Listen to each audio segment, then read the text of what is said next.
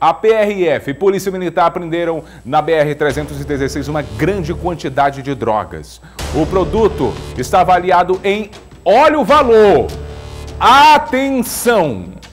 O valor Atenção. dessas drogas avaliado em um milhão de reais. Eita, mano! É isso mesmo, um milhão de reais. Foram 40,5 quilos de crack, 15,4 quilos de cocaína que estavam escondidos no fundo falso de uma carroceria de uma Hilux. A apreensão foi feita.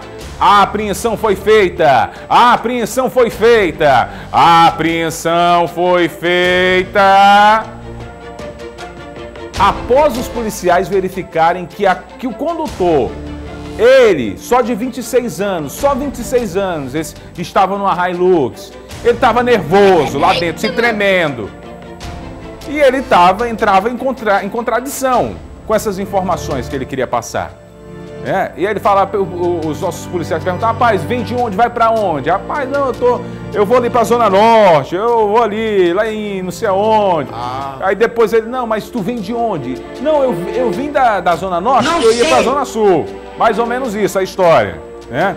Aí é- essas foram as declarações dele. A droga estava vindo da Bolívia e tinha como destino o estado de Pernambuco, configurando assim o transporte internacional de drogas. Ou seja, ele, se a gente tivesse a nossa musiquinha, a gente iria dançar e iria falar que ele se lascou. Se lascou, se. É. Pega! Vai de novo! Vai de novo!